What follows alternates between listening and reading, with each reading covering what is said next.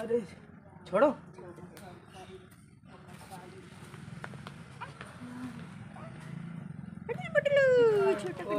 Hello दोस्तों जय जोहर राम राम मैं और गुब्बू ठीक है और गुब्बू का भाई भी ठीक है। आशा करती हूँ कि आप लोग भी सब बढ़िया ओके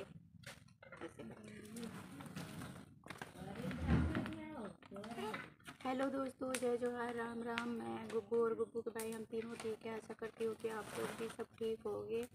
और आज मैं बता रही हूँ प्रेगनेंसी के सिम्टम्स मेरे सिम्टम्स क्या थे?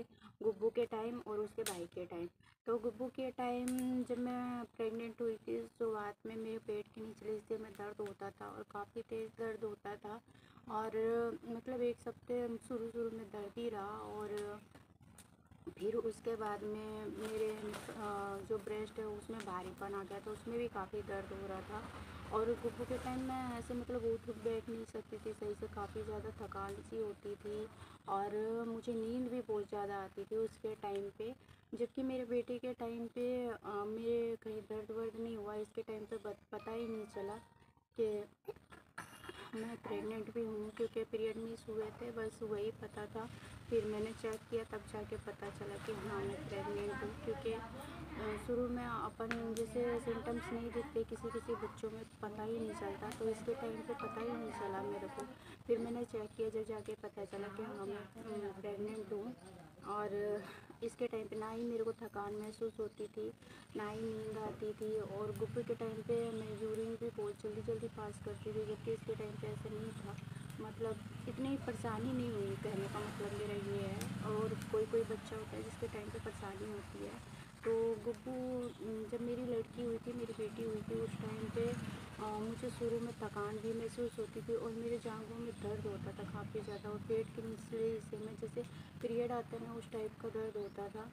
तो उसके टाइम पे मैं वैसे भी काफ़ी परेशान हुई थी गुब्बू के टाइम पे और जी में चलाना ये उल्टी उल्टी, ये तो बाद में हुई उल्टी होना और मतलब जब मेरी उल्टी भी मतलब उसकी शुरुआत में ही होने लगी थी। एक हफ़्ते बाद में काफ़ी ज़्यादा उल्टियाँ होती थी गुप्पू के टाइम पे और इसके टाइम पे उल्टियाँ नहीं हुई हैं।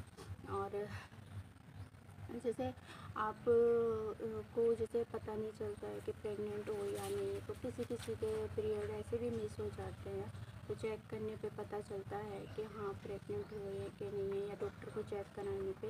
तो अगर आपको पता नहीं चलता है तो आप डॉक्टर को जाके चेक करा सकते हो। वैसे तो शुरू में पता चल जाता है क्योंकि आपके शरीर में बदलाव भी बहुत सारे होते हैं। जैसे ब्रेस्ट में भारीपन आ जाना या पेट के निचले हिस्से में दर्द होना हल्का हल्का सा या फिर पीरियड मिस हो जाना, सबसे बड़ी तो यही है कि पीरियड मिस हो जाते हैं जिसके हर मंथ आते हैं पीरियड, उसका मिस होता है तो उसको तो वैसे ही पता चल जाता है कि हाँ है या नहीं है बेबी तो इससे भी पता चल जाता है और दूसरा कमज़ोरी आती है शरीर में, कमज़ोरी सी भी महसूस होती है, उससे भी पता चल जाता है यूरिन जल्दी जल्दी जाना और क्योंकि अपन जब मैं प्रेग्नेंट थी तो उससे पहले तो नॉर्मली मतलब जैसे जाते हैं, एक दो बार, तीन बार, ऐसे चले जाते हैं।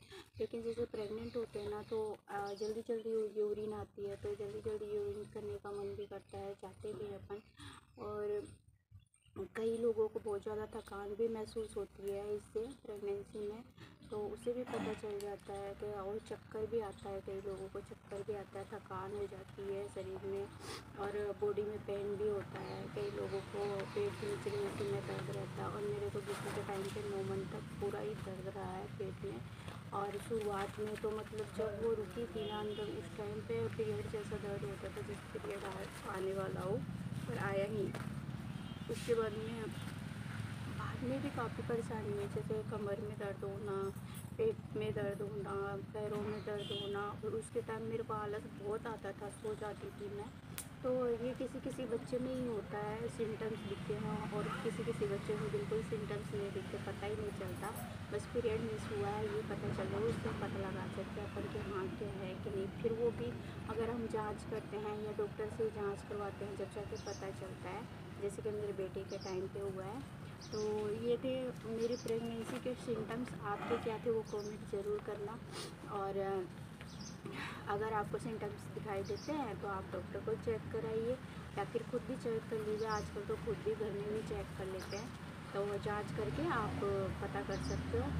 तो ठीक है, आज के लिए बस इतना ही दोस्तों। वीडियो अच्छी लगी हो तो वीडियो को लाइक कर देना, चैनल को सब्सक्राइब कर कर देना और वीडियो को शेयर भी कर देना।